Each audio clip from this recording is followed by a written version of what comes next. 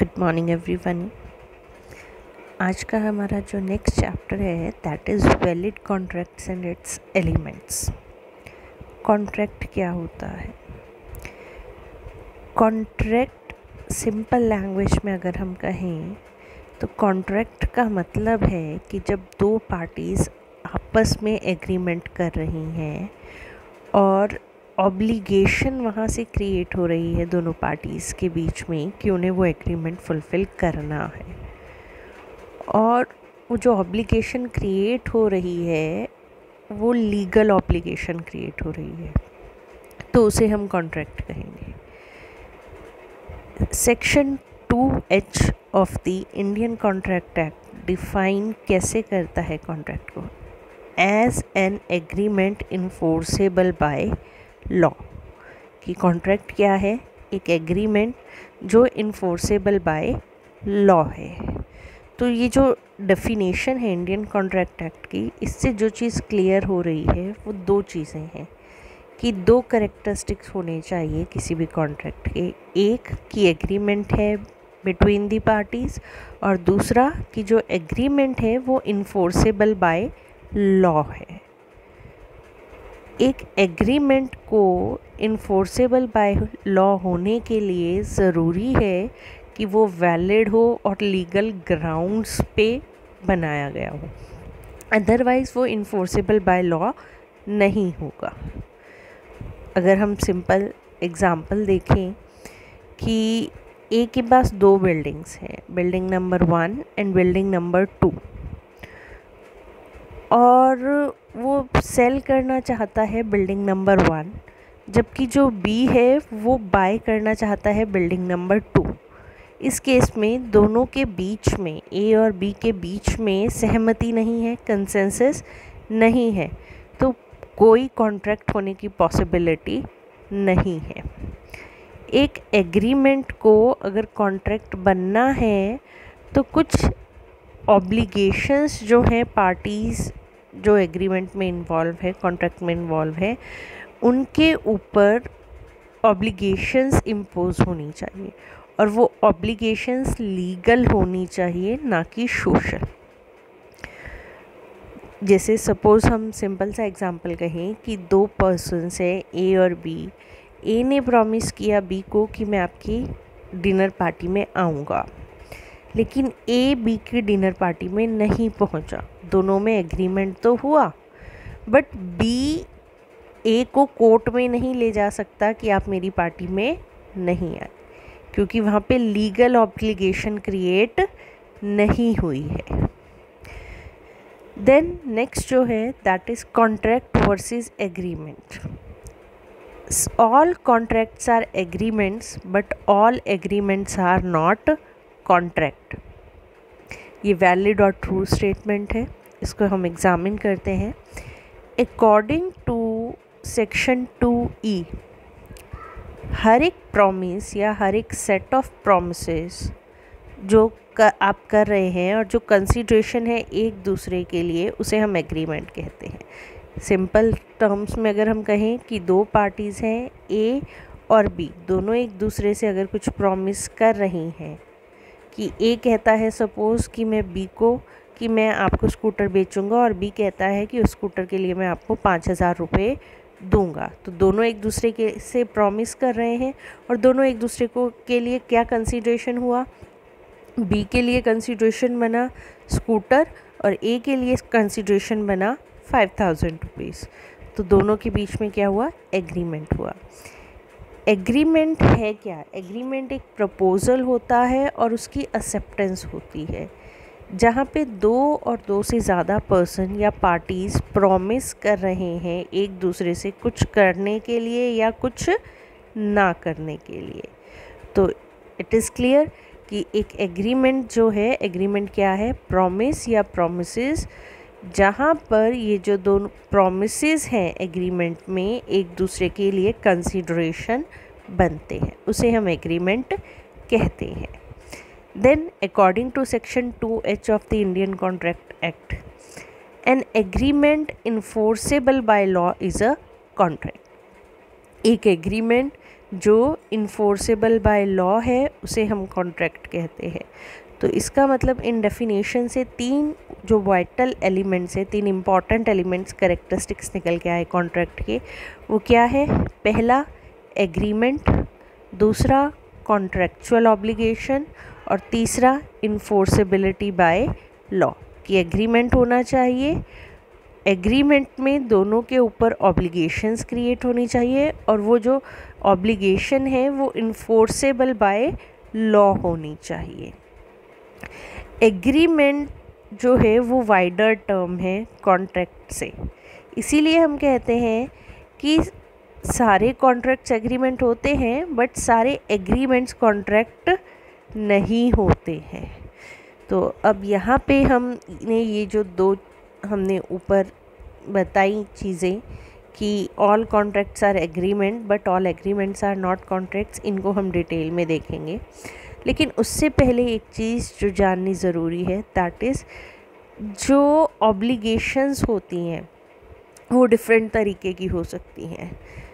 आप अगर किसी को बाध्य कर रहे हो कुछ करने के लिए तो आप लीगली कर सकते हो सोशली कर सकते हो मॉरली कर सकते हो। तो जो सोशली और मॉरली ऑब्लिगेशंस क्रिएट होंगी, वहाँ पे जो भी प्रोमिस हो रहे हैं, वो सिर्फ़ और सिर्फ़ एग्रीमेंट्स रहेंगे। लेकिन जहाँ पे लीगल ऑब्लिगेशन क्रिएट होगी, वहाँ पे जो एग्रीमेंट है, वो कॉन्ट्रैक्ट बन जाएगा। तो सबसे पहले हम देखते हैं ऑल कॉन्ट्रैक्ट्स आर एग्रीमेंट्स एक कॉन्ट्रैक्ट अगर है तो वहाँ एक एग्रीमेंट ज़रूरी होगा। बिना एग्रीमेंट के कॉन्ट्रैक्ट नहीं हो सकता। तो for a contract to be there an agreement is essential बिना एग्रीमेंट के कोई भी कॉन्ट्रैक्ट नहीं हो सकता। प्राइमरी असेंशियल एलिमेंट है कॉन्ट्रैक्ट के लिए एक एग्रीमेंट का होना। अब जैसे हम कहते हैं कि अगर धुआँ है तो आग होगी बिना आग के धुआँ नहीं हो सकता। सेम तरीके से हम कहते हैं कि जहाँ कॉन्ट्रैक्ट है, वहाँ एग्रीमेंट होगा, बिना एग्रीमेंट के कॉन्ट्रैक्ट नहीं हो सकता। दूसरा, अभी हमने बात की असेंशियल एलिमेंट्स कॉन्ट्रैक्ट का क्या है कि लीगल ऑब्लिगेशंस क्रिएट होनी चाहिए। अगर लीगल ऑब्लिगेशन नहीं है तो वहाँ पे जो एग्रीमेंट है कॉन्ट्रैक्ट में कन्वर्ट नहीं होगा। जैसे एग्ज़ाम्पल हम कहते हैं लीगल ऑब्लिगेशंस कहाँ पे क्रिएट हो रही हैं एग्ज़ाम्पल हम देखते हैं। ए ने बी को अपनी कार दी रिपेयर के लिए और बी ने उसके लिए दो सौ रुपये लिए रिपेयर वर्क के दो सौ रुपये उसने मांगे। ए एग्री करता है कि बी को वो रिपेयर करने के लिए दो सौ रुपये देगा और बी एग्री करता है कि वो कार रिपेयर करेगा। अब इस एग्रीमेंट में दोनों के ऊपर ऑब्लिगेशन क्रिएट हुई और इसको हम कहते हैं कि यहाँ पे दोनों पार्टीज़ के बीच में कॉन्ट्रैक्ट हुआ। तीसरा जो एलिमेंट आता है दैट इज़ कि जो एग्रीमेंट है वो इन्फोर्सेबल बाय लॉ होना चाहिए। कि जो अगर पार्टीज़ ने अपनी जो ऑब्लिगेशंस है वो फुलफ़िल नहीं की तो जो पार्टीज़ हैं वो कोर्ट में जा सकती है। उनके पास राइट है कोर्ट में जाने का। इस चीज़ को हम कहते हैं कि वो इन्फोर्सेबल बाय लॉ है।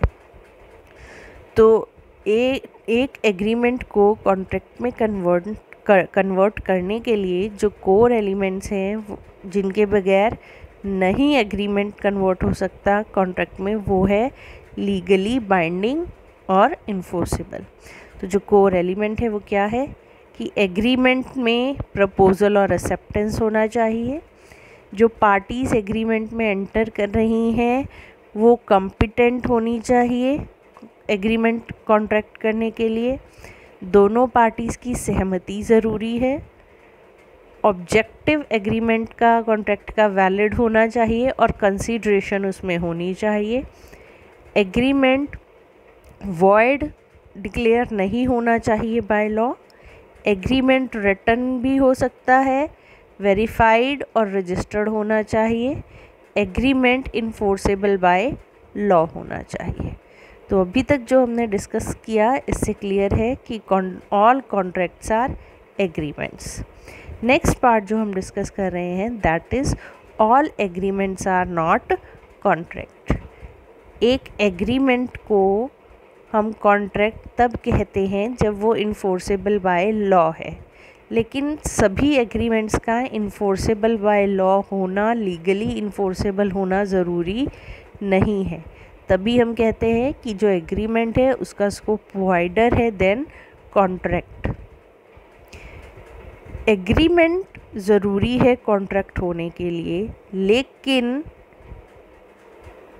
कॉन्ट्रैक्ट ज़रूरी नहीं है एग्रीमेंट होने के लिए। जैसे एग्ज़ाम्पल हमने ऊपर किया था कि एक पर्सन ने दूसरे को डिनर के लिए इनवाइट किया और उसने एग्री कर लिया कि मैं डिनर पे आऊँगा। तो ये एग्रीमेंट है, लेकिन कॉन्ट्रैक्ट नहीं है, क्योंकि यहाँ पे लीगल ऑब्लिगेशन नहीं है। एग्ज़ाम्पल जो केस यहाँ पे आता है that is Balfour versus Mrs Balfour Mr Balfour जो एम्प्लॉयड है था श्रीलंका में, वो ब्रिटेन में अपनी वाइफ से मिलने गया, उसे लेने गया अपने साथ रहने के लिए. मिसिस बॉलफेरे नहीं आ पाई क्योंकि वो स्वस्थ नहीं थी. मिस्टर बॉलफेरे ने प्रॉमिस किया कि वो उसको थर्टी पाउंड हर महीने भेजेगा और वापस श्रीलंका आ गया। बट वो थर्टी पाउंड नहीं भेज पाया, जो उसने प्रॉमिस किया था अपनी वाइफ को तो उसने अपने हस्बैंड के ख़िलाफ़ कोर्ट में केस कर दिया। तो जस्टिस लॉर्ड एटकिंस ने जो केस था वो डिसमिस कर दिया। उसने क्या कहा कि जो एग्रीमेंट है, उसमें कॉन्ट्रेक्चुअल ऑब्लिगेशन नहीं है। बॉल्फोरे ने प्रॉमिस किया मनी भेजने का और वाइफ ने एक्सेप्ट किया। तो जो एग्रीमेंट है, उसमें कॉन्ट्रेक्चुअल ऑब्लिगेशन नहीं है। अब सेम तरीके से हम इसमें एक चीज़ और कह रहे हैं कि जो एग्रीमेंट होना चाहिए, वो within the framework of law होना चाहिए। और लीगली इन्फोर्सेबल होना चाहिए। अगर आप किसी गलत काम के लिए एग्रीमेंट कर रहे हो तो वो माना नहीं जाएगा। जैसे सपोज़ ए प्रॉमिस करता है बी को कि वो सी को नुकसान पहुंचाएगा क्योंकि वो उसे पसंद नहीं करता। क्योंकि जो बी है, वो सी को पसंद नहीं करता, इसीलिए एक प्रॉमिस करता है कि वो सी को नुकसान पहुंचाएगा। बी प्रॉमिस करता है कि ऐसा करने के लिए वो ए को हज़ार रुपये देगा। तो आप इसे कॉन्ट्रैक्ट नहीं कह सकते क्योंकि ये अगेंस्ट दी लॉ है। लॉ के अकॉर्डिंग आप किसी को नुकसान पहुँचाने का जो कॉन्ट्रैक्ट है वो नहीं कर सकते। तो जो एग्रीमेंट है, जिसका जो ऑब्जेक्ट और कंसिड्रेशन है, वो इलीगल है अनलॉफुल है तो वो वॉइड हो जाता है और वो कॉन्ट्रैक्ट नहीं बन सकता। तो अभी तक जितना हमने डिस्कस किया, इससे क्लियर है कि सारे एग्रीमेंट्स कॉन्ट्रैक्ट नहीं होते बट सारे कॉन्ट्रैक्ट्स एग्रीमेंट होते हैं।